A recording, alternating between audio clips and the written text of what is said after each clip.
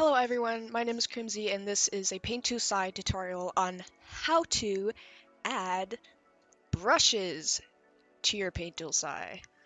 Now, first off we're going to start with this skin texture that I got online by Kiru. And this is where your Easy Paint Tool is. Mine is in my program files, so it was fairly easy to find. Some people have it messed up or in a different area, but make sure you find that. Um, Okay, so first off we're going to start with blot map. And see I have two skin textures in here. And what I want to do is simply drag and drop this into my Easy Paint Tool SAI blot map folder. Now, the same with my brush text. I'll drag and drop that in. Tool RM is basically when you want your brush to show up in your brush tab in Paint Tool SAI. So I have 0, 0 and 0, 1. Uh, I just dragged and dropped them in like this. Some It'll look a lot different depending on how many brushes you have. Now we're going to add blot map to brush form and you'll see right here this comp file brush form.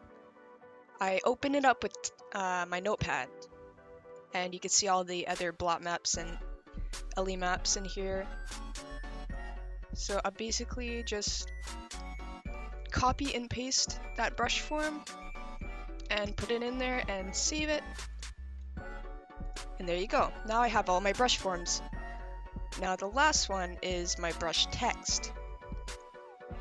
So I'm gonna open that up. See, there's no skin brush text at all in here, but that's what I'm gonna add in.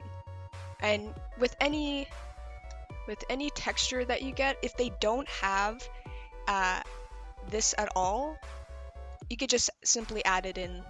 So now I have that in there. You can close everything by now because everything is in there that you need. Open up your Paint Tool SAI. And there's your skin texture right in there. Nice you can see it shows up both skin 1 and 2 shows up in your textures and at the bottom skin 1 shows up. Nice. So this is how you add textures to your paint tool SAI well thank you for watching and I'll see you in the next video. Bye bye